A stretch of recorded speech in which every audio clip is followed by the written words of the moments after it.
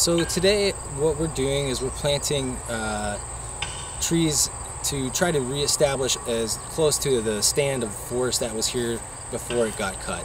Um, the family was using this hillside as a uh, maple grove for sugar maple, um, maple syrup harvesting.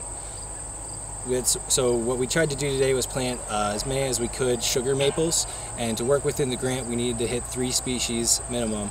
And we stuck with sugar maples, red maples, and red oaks because this is an upland planting.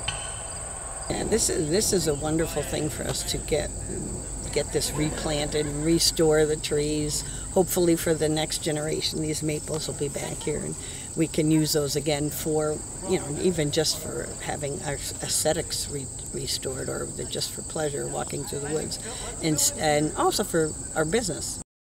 Oh, I think it's wonderful that that I had uh, places that resources that we could reach out to that would help to do this. I don't know how we would do this ever on our own.